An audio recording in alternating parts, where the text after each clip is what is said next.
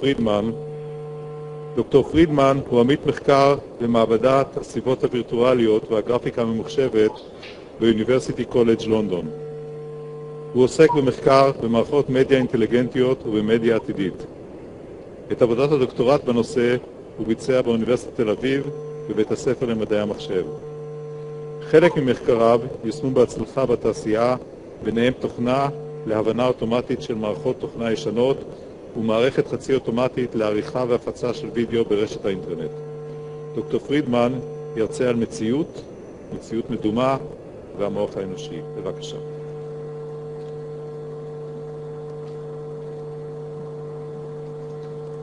תודה.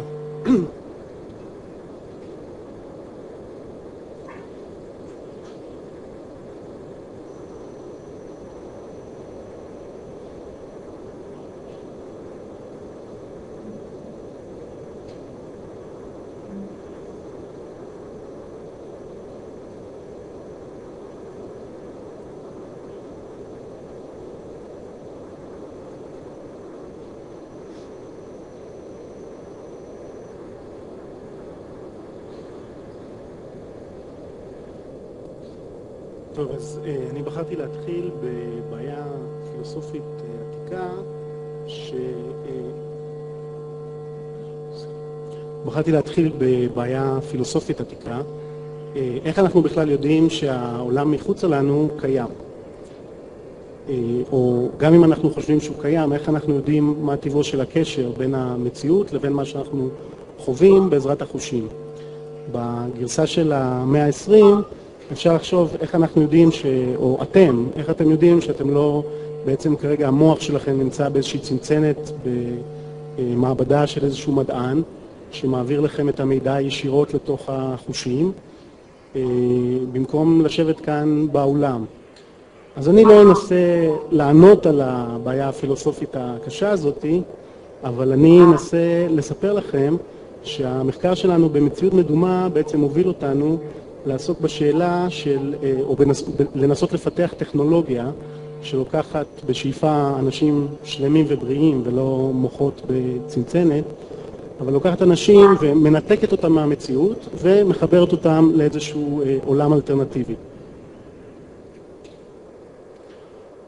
ואנחנו מפרידים בין, אה, אנחנו לא מתעסקים דווקא במציאות מדומה, אלא אנחנו מסתכלים על כל הציר שמצד אחד נמצאת המציאות, מצד שני, בצד הקיצוני, אנחנו מדברים על מציאות מדומה שמחליפה את המציאות לגמרי, ואנחנו מזהים שיש גם כמה דברים מעניינים באמצע.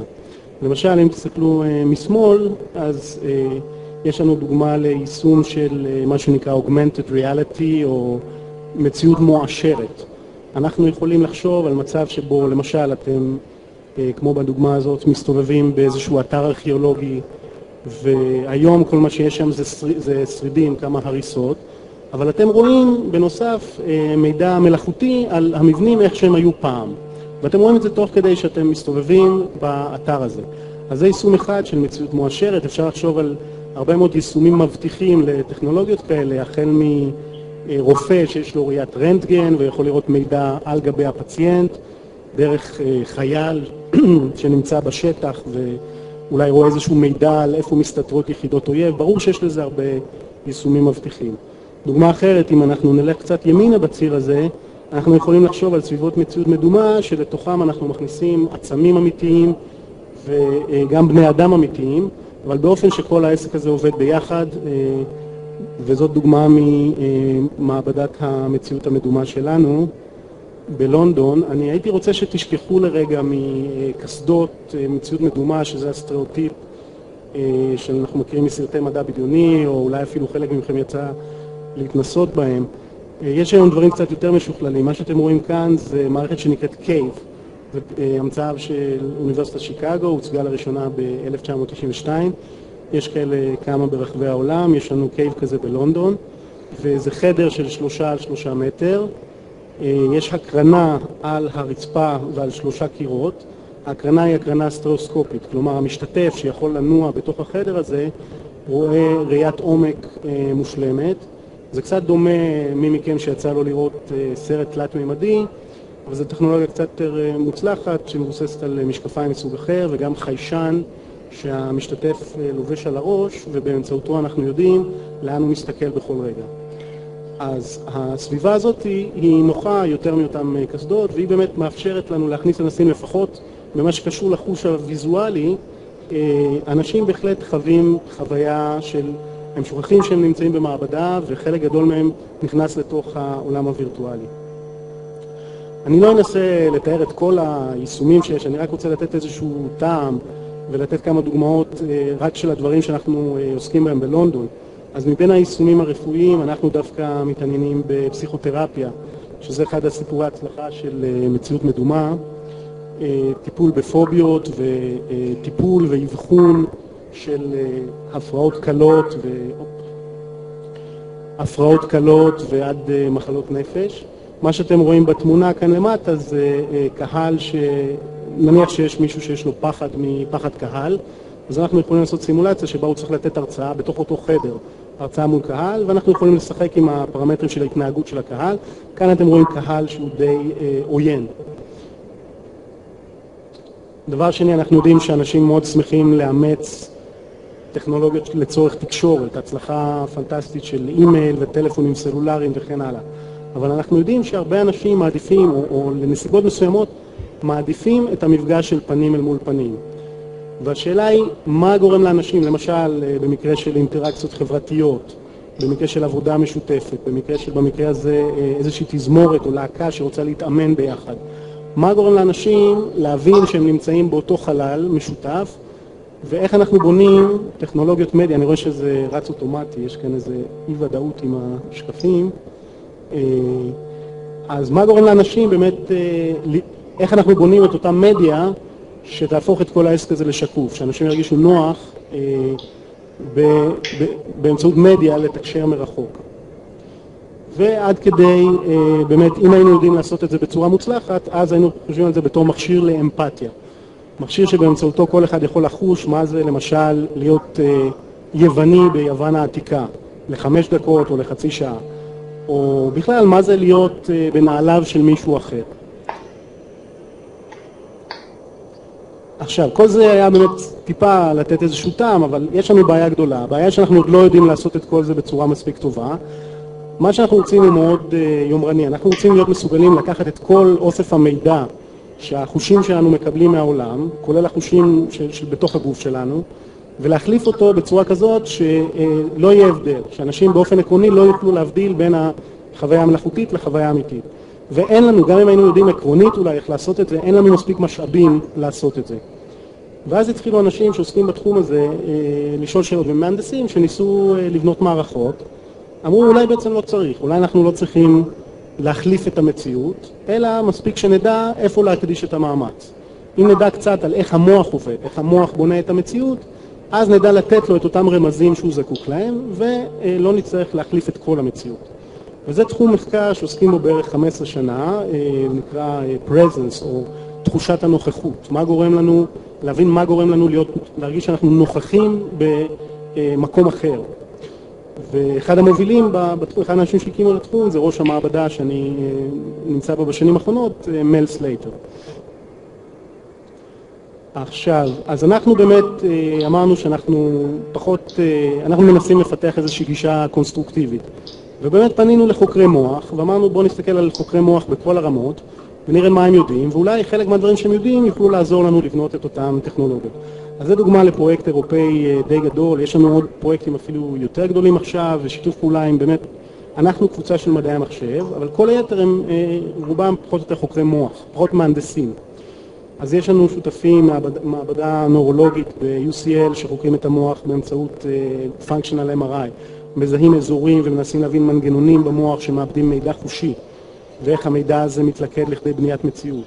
יש לנו, אה, אם תסתכלו על התמונה בצד ימין למטה, שותפים שמתמחים בפענוח של EEG, של גלי מוח, כאשר אה, אנחנו אה, נפגוש אותם עוד בהמשך, נראה משהו שעשינו איתם. ועד אפילו אנשים שמסתכלים ברמת התא הבודד על ידי בעלי חיים.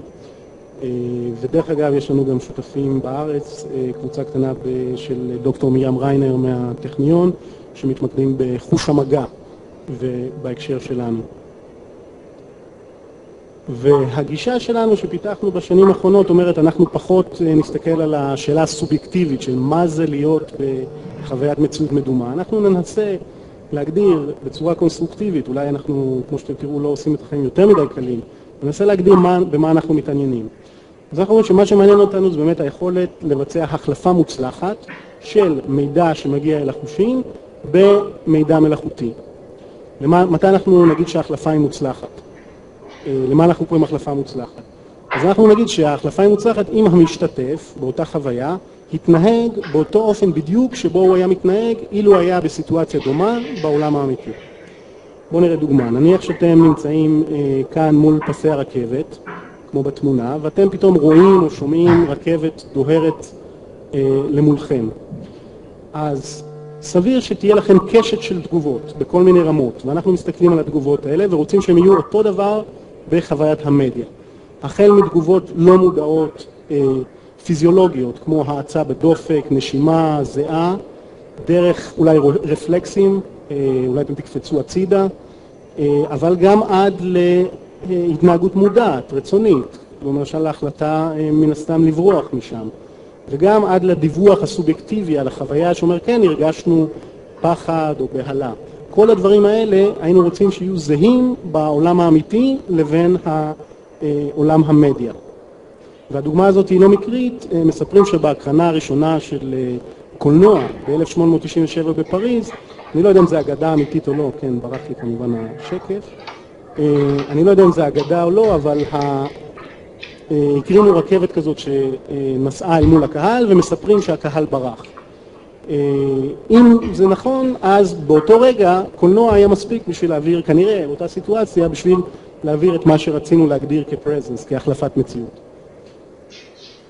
עכשיו, עוד דברים שגילינו, אם תסתכלו על התמונות כאן מצד ימין, זה מודל קלאסי, מהקלאסיקה של מציאות מדומה. זה חדר שבו המשתתף נכנס, וכשהוא נכנס לחדר הימני למעלה, כל מה שהוא רואה זה בור, ודרכו הוא רואה את הקומה התחתונה. זה מודל שעשו אותו אצלנו, ומאז גם אה, עשו אה, ניסויים רבים ברחבי העולם בווריאציות שונות. ומה שמסתבר זה שזה עובד. אנשים, במיוחד אנשים עם נטייה לפחד גבהים, יחושו פחד גבהים במציאות מדומה. אה, אפשר למדוד את זה כי במקרה הזה המדדים הגופניים הם מאוד אמינים, מדדים שוב של דופק זהה הם מאוד אמינים בהקשר של פחד גבהים ומה ש... שמעניין זה הדבר הבא, יש לנו אוסף, אנחנו רואים שיש אוסף גדול יחסית של אנשים שיוצאים אחרי אה, כמה דקות בסביבה הזאת ואומרים כן זה היה נחמד אבל אה, לא פחדנו מה פתאום? אה, אנחנו יודעים שזה בסך הכל ציור על הרצפה אה, לא הרגשנו שום פחד. אבל אנחנו מתוך המדידות של המדדים הגופניים שלהם אה, רואים סיפור אחר. אנחנו רואים שלפחות ברגעים מסוימים הם הרגישו פחד. וההנחה שלנו היא שבאמת חלק לפחות מהמוח שלהם מגיב אה, לדבר הזה בתור מצב חירום אה, כנראה שיש כאן שני, אה, באופן גס אפשר לדבר על שני חלקים של המוח. החלק הרציונלי, המודע, עליו קשה לנו יותר לעבוד. אה, הוא יודע שהוא נכנס לסביבת סימולציה, אבל חלקים שכנראה מוקדמים יותר מבחינה אבולוציונית, רפלקסים וחלקים מהסוג הזה, הם כנראה עליהם אנחנו יכולים לעבוד בסביבת מציאות מדומה, ולהרבה מאוד יישומים זה מספיק, זה מספיק טוב. יישומים כמו יישומים צבאיים, רפואיים, בידור. אם אנחנו יכולים לעבוד על חלק גדול של המוח, זה כבר אה, הופך את זה למעניין. אז בואו נראה אה, איך אנחנו יכולים להתקדם ולהגיע לאותה אה, החלפת מציאות עם אה, מאמץ. אז אם תסתכלו על השקף הזה משמאל לימין, אז בהתחלה העסק הוא אה, די קל. יש לנו איזושהי קפיצה קלה, שאנחנו מגיעים אליה די בקלות, ואנחנו חושבים שזה בגלל מה שהפסיכולוגים קוראים מינימל קיוז, נטייה של המוח האנושי לבנות מציאות מתוך רמזים באמת מינימליים. מתוך מידע מאוד מאוד חלקי שמגיע לחושים, המוח כבר משלים את המידע. כנראה שזה מה שמאפשר להרבה אנשים בקלות אה, אה, להיכנס לתוך החוויה של המדיה. אחר כך אנחנו מתאמצים, משקיעים הרבה מאמץ טכנולוגי, מחשבים חזקים, צגים אה, מיוחדים ואלגוריתמים חכמים וגרפיקה ממוחשבת, ואנחנו כמעט ולא מצליחים להתקדם. ולפעמים אפילו אנחנו נופלים לתוך הבור הזה, שחוקר יפני בשם מורי קרא לו ה-uncanny valley, אה, בהקשר שלנו אולי עמק הזוועה. למה הכוונה? בואו ניקח לדוגמה ה... אה, ניקח לדוגמה דמויות וירטואליות. אנחנו בסביבת המציאות המדומה פוגשים דמויות כאלה, ובואו נניח שהדמות, דמות כזאת, אתם תהיו עם דמות כזאת, והיא תיראה לגמרי אמיתית. בואו נגיד שהצלחנו שמבחינת מראה, היא תיראה לגמרי אמיתית, כולל הקמטים בעור והשיער והבגדים והכל, אבל אחרי שתבלו איתה דקה או שתיים, אתם תגלו שבעצם מפעילה אותה תוכנה מאוד אה, פרימיטיבית, מאוד מוגבלת, והעסק הזה שובר בבת אחת את האשליה. בבת אחת אתם מבינים שמשהו פה לא בסדר, ואפילו אה, מורי התייחס לזה בתור אה, המפלצת של פרנקנשטיין. ומה שמראים אחר כך באמצעות גם סדרה של ניסויים שונים, זה שכנראה מה שחשוב כאן זה הקונסיסטנטיות. זאת אומרת, למשל, במקרה של דמויות, או גם במקרים אחרים, הקונסיסטנטיות בין המראה הוויזואלי, הריאליזם הוויזואלי, לבין ההתנהגות או התנועה בעולם, לבין ההתנהגות ברמה של קבלת החלטות ואינטראקציות. אם אנחנו מתקדמים בדברים האלה ביחד, בזהירות, אז אה, אנחנו לא נופלים לתוך הבור הזה שתיאר מורי. ואולי אנחנו יכולים, עם עוד מאמץ כזה ועם שמירה על קונסיסטנטיות, להגיע אה, למצב שאנחנו יודעים לספק חוויה לא רעה של החלפת מציאות, ואז אנחנו אולי אה, יכולים להגיע לשלב המעניין הזה של לבדוק מה קורה מעבר למציאות. אה, אם לא, אני חושב שאם לא היינו יודעים לעשות את זה כמו שצריך, אז אולי לא היה לזה ערך, אבל... תכף, כן.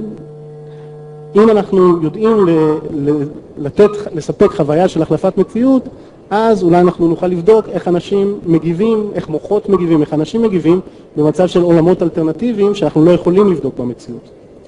אה, אנחנו יכולים להפר חוקי פיזיקה, עקרונות חברתיים, ביולוגיים, מטאפיזיים אולי. ולראות איך אה, אנשים מגיבים ואיך מוחות מגיבים, ועד אה, סוף ההרצאה אני רוצה פשוט לתת כמה דוגמאות. האדם הזה אה, בעצם אפילו לא השתמש במציאות מדומה, זה ג'ורג' סטרטון, שבסוף שנות התשעים של המאה ה-19 עשה סדרת ניסויים מאוד פשוטה, אבל מאוד מבריקה. הוא לקח משקפיים שהופכות את העולם, מראות לנו את כל העולם הפוך, הוא בעיקר אה, בדק את זה בעצמו, הוא לבש את זה במשך הרבה זמן, והוא גילה שאחרי כמה ימים התמונה במוח מתהפכת, כלומר הוא פתאום שוב חזר לראות את העולם בצורה ישרה. וגם אחרי שהוא אה, אה, הסיר את המשקפיים האלה אחרי הרבה ימים של שימוש, העולם שוב נראה לו הפוך, למרות שהוא כבר לא לבש את המשקפיים האלה. אז הוא גילה תגלית מאוד מעניינת על הגמישות שבה המוח עובד, והוא עשה את זה בלי מציאות מדומה, אלא עם טרנספורמציה פשוטה של היפוך. אני מציע שאפשר באמצעות אה, טכנולוגיה של מציאות מדומה, מציאות מעורבת, לחקור אה, טרנספורמציות אחרות ואולי קצת יותר עדינות, לבדוק כל מיני תנאים אה, אלטרנטיביים.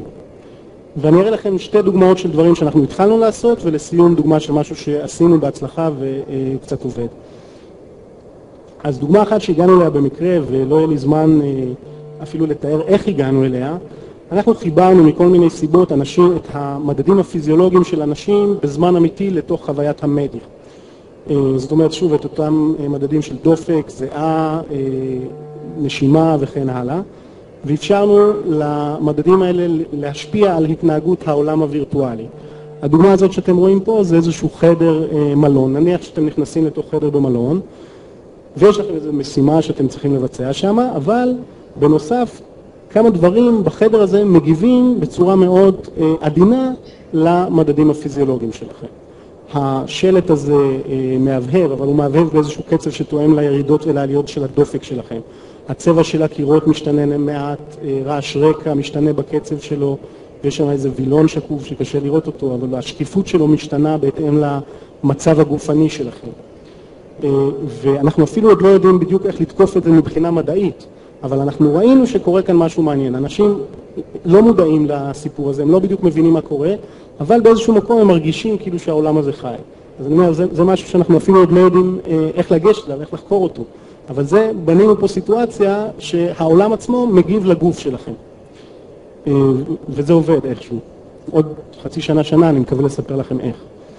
אה, דבר אחר שאנחנו מנסים לעשות זה לעשות שימוש באשליה הנחמדה הזאתי הנבדק יושב מולכם, יד ימין שלו מוסתרת מאחורי מחיצה, ובמקומה הוא רואה יד מפלסטיק. עכשיו, הנסיין אה, מכה על היד האמיתית שלו ועל היד מפלסטיק באותו קצב, ואחרי דקה או שתיים האדם הזה מזהה את היד הפלסטיק בתור היד האמיתית שלו. הוא מרגיש איזושהי אשליה, והאשליה הזאת גם אה, בצורה אלגנטית ניתנת למדידה ולכימות. עכשיו, מה שאנחנו עושים כרגע זה אה, רוצים להשתמש בטכניקה הזאת בשביל ליצור קשר מאוד חזק בין אנשים לבין הגוף הווירטואלי שלהם. בסביבה הווירטואלית, לאנשים שאנחנו מכניסים לסביבת מציאות מדומה, לפעמים רואים את חלק מהגוף שלהם. אז אנחנו רוצים קודם כל ליצור את הקשר הזה החזק בינם לבין הגוף הווירטואלי שלהם, ואז לראות עד כמה אנחנו יכולים, אה, אחד, לראות כל מיני דברים, אחד הדברים שאנחנו יכולים לבדוק זה עד כמה אנחנו יכולים לקחת את זה רחוק. האם אנחנו יכולים לגרום לאנשים איזושהי חוויה חוץ גופית, שהגוף שלהם פתאום יתחיל להתרחק? האם אנחנו יכולים לגרום לאותו חלק במוח שלהם שמגיב למצבי חירום, שלמשל יגיב להפעלה של כאב על הגוף הווירטואלי, ואנחנו מאמינים שהוא יגיב. האם אנחנו יכולים לגרום לו להאמין שהוא אה, מצבע שונה, מין שונה, אולי איזה גוף של בעל חיים? זה דברים שאנחנו יכולים אה, לבדוק. לסיום, אה, אני רוצה להראות דוגמה של אה, עוד משהו שעשינו, שגם ככה מסכם בצורה טובה את, ה, את הנושא שלנו של מציאות מדומה ומוח ולהכניס אנשים לתוך מציאות אלטרנטיבית. ואמרנו באמת, אם אנחנו עובדים עם מעבדות מחקר מוח טובות ברחבי אירופה, למה שלא ננסה לחבר את המוח למציאות מדומה, כמו בחזון של המטריקס למשל, של סרטי מדע בדיוני. ובאמת חברנו למעבדה באוסטריה שמתמחה במה שנקרא Brain Computer Interface, ממשק מוח מכונה, מוח, מוח מחשב. והם מסוגלים בזמן אה, לזהות, בצורה מאוד מוגבלת, אבל העסק הזה עובד, לזהות אה, דפוסי מחשבה מתוך גלי ה-EEG, גלי מוח שעובדים כשאנחנו חושבים, ואנחנו אמרנו בואו נשתמש בזה בשביל לשלוט במציאות המדומה. ובדקנו כמה תנאים, בעיקר את שני התנאים האלה. מצד שמאל אתם רואים נבדקת שמחוברת לסיפור הזה, והיא נמצאת באיזו סביבה של בר, ויש דמויות מסביבה, והיא משוחחת איתם, וכדי, אם היא רוצה להסתובב, לדבר עם אה, דמות שנמצאת מימינה, אז במקום להסתובב, היא פשוט מדמיינת את יד ימין. ברגע שהיא חושבת על יד ימין, היא פונה אל הדמויות שנמצאות מימין. וכשהיא חושבת על יד שמאל, כדי להסתובב שמאלה, היא חושבת על יד שמאל. ובאותו אופן, בצד ימין אתם רואים, אתם תכף אני אראה סרטון קצר, שהיא אה, הולכת באיזשהו רחוב ראשי עם חנויות משני הצדדים, כשהיא חושבת על הרגליים היא מתחילה ללכת, במקרה הזה כדי לעצור היא צריכה לחשוב על הידיים, אוקיי? אז, כן, זה לא קשור, סליחה.